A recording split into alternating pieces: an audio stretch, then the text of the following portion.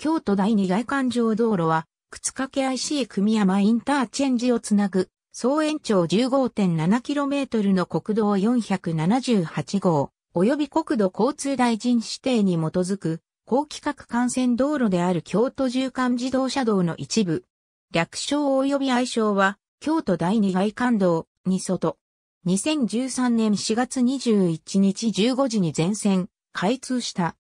一般有料道路としての営業路線名称は、靴掛 IC- 大山崎ジャンクション間が、京都縦貫自動車道、大山崎ジャンクション組山インターチェンジ間が、刑事バイパスである。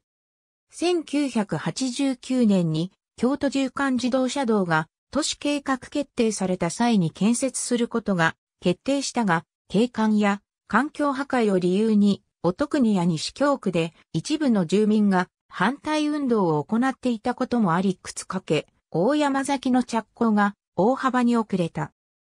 2008年にようやく工事に着手することができるようになり、2013年3月末までの供用開始を予定していたが、2013年1月に行われた内ウッド検査で南春日トンネル内の壁面にひびが見つかり、修復のため開通は約1ヶ月遅れ、2013年4月にずれ込むことが発表された。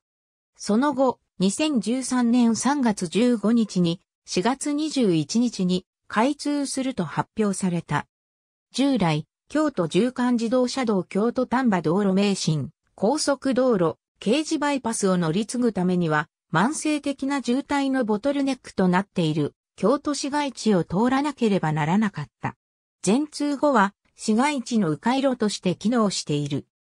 開通後は、これまで京都縦貫自動車道起点の宮津天の橋立 IC から終点の大山崎ジャンクション間で通常110分ほどかかっていた所要時間が25分ほど短くなり85分程度になった。これに伴い天の橋立など京都府北部地域への観光需要が高まり、地域経済の活性化につなげられると予測されている。